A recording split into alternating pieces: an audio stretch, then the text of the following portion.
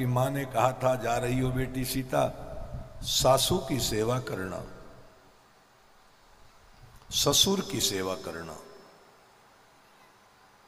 गुरु की सेवा करना।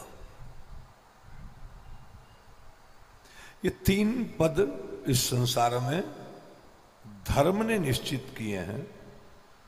इस सेवा इन तीन की करनी चाहिए, सासू की ससुर की, गुरु की।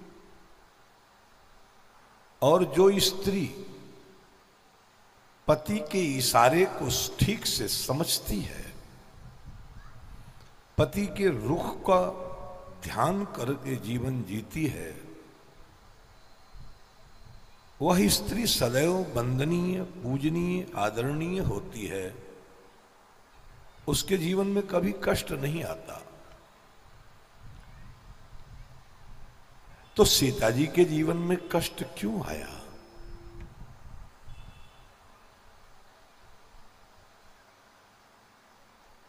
उषा श्रीवास्तव जी,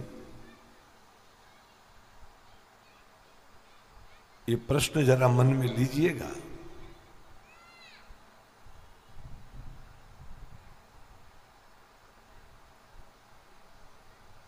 कि सीता जी के जीवन में कष्ट क्यों आया? आपके घर में श्री रामचरित मानस जी हो, ओंकार बाबू उसको खोल कर पढ़िएगा। अयोध्या कांड में तिरसठ का मतलब हो गया छ और तीन नौ। नौ एक ऐसे महत्व का अंक है कि नौ का गुणनफल करिएगा तो नौ ही आएगा।